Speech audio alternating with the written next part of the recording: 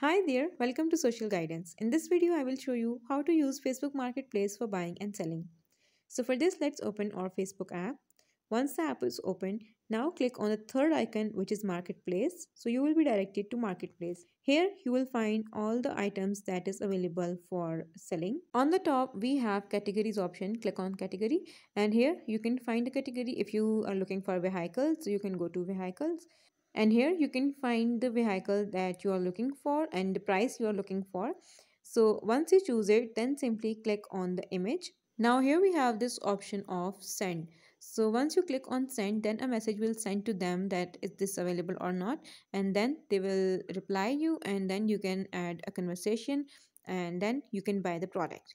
Now we will see how we can buy our products on uh, facebook marketplace so for this, go back uh, to marketplace and there we have this sell option in left side. Click on it and here you can create your listing. So I will choose item and you will be directed to your gallery here.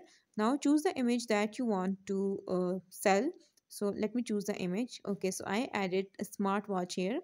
Then you can add a title. So I will go with smartwatch here so once you're done with your title here then you need to enter the price. So i will go with 2000 here.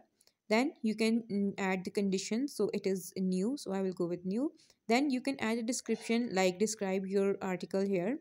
So i will just add a watch with uh, seven straps okay now your listing is completed. Click on publish on the top right corner and then your listing will be published.